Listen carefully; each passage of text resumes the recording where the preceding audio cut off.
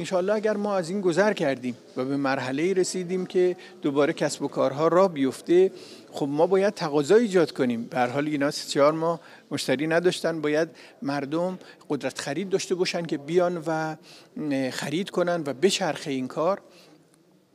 لذا در نظر گرفته شد که به خانوارها یک قدرت خریدی داده بشه. تقریبا هر خانواری یک میلیون تومن در اختیارش قرار بگیره که این ضرب بشه در به کل خانوارهای یارانه بگیر. یه چیزی مثلا بالای 20 22 هزار میلیارد تومن هم اینجا میشه. و موارد ویژه ای هست. مثل بعضی از به شرکت های بزرگ که با این فرمول شاید مشکلشون حل نشه رقمی هم برای اون مورد در نظر گرفته شده.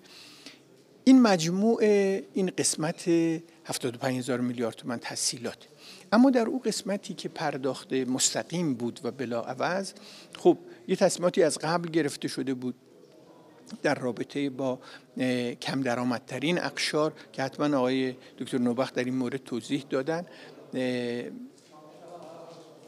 و همچنین یک رقمی در نظر گرفته شد برای مواردی که دیگه به اضطرار مشمول اونا نبودن ناچار بیکار شدن. بعضی از اینها به دلیل شرایط خاص منطقه است. بعضی سبب اینکه اون بنگاه امکان ادامه کار نداشته. به هر حال ما یک در واقع کمک ویژه‌ای برای پرداخت به بیکار شدگان به سبب کرونا داریم. البته از سازوکار صندوق بیمه بیکاری استفاده می‌کنیم. اما این مجزای از اون روش و سازوکاری که به طور معمول صندوق بیمه بیکاری منابعی داره و مصارفی داره و کار خودش رو باید بکنه. اما برای بیکار شدگان به سبب کرونا پنج هزار میلیارد تومان هم برای این در نظر گرفته شده که کمک, کمک بشه جزئیات اجرایی این در ظرف هفته آینده انشالله اطلاع رسانی خواهد شد. من بسیار امیدوارم که ما بتوانیم با همین حالت همبستگی و همکاری دولت این مقدار می‌تونست. اما خود فعالان اقتصادی من اطلاع دارم اتاقهای کشور در سراسر کشور فعال شدن.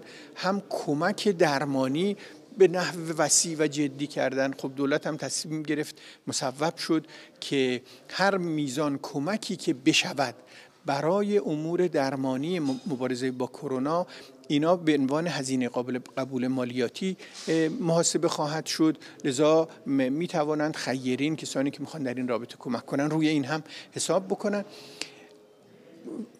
طبعا خود صاحبان بنگاه ها صاحبان کسب و کارها اونا دلسوزیشون برای کارگراشون خیلی بیشتر از فلان دستگاه دولتی. اینا رو مثل بچه های خودشون می‌دانن. الان باید حالت همه ما مثل مقابله با آثار یه زلزله باشه. چطور یه سیل میاد یه زلزله میاد یه بلای طبیعی میاد مردم از سراسر کشور واقعا یک جوشش عاطفه رو مشاهد هستیم. الان در برخورد با تبعات اقتصادی کرونا هم این روحیه و فضا که من می‌بینم اینطور هست انشالله ادامه پیدا کنه. انشالله وقتی که دیگه دوستان بهداشت و درمان ما به ما بگن که دیگه ما از اوج گذر کردیم و انشالله دیگه خیالمون راحت میشه دوباره ما شاهد یک رونقی باشیم. جهش تولید قرار است در امسال مشاهد باشیم. و من این نکته رو هم در کنار این به صلاح ملاحظه جنبه های منفی بگم.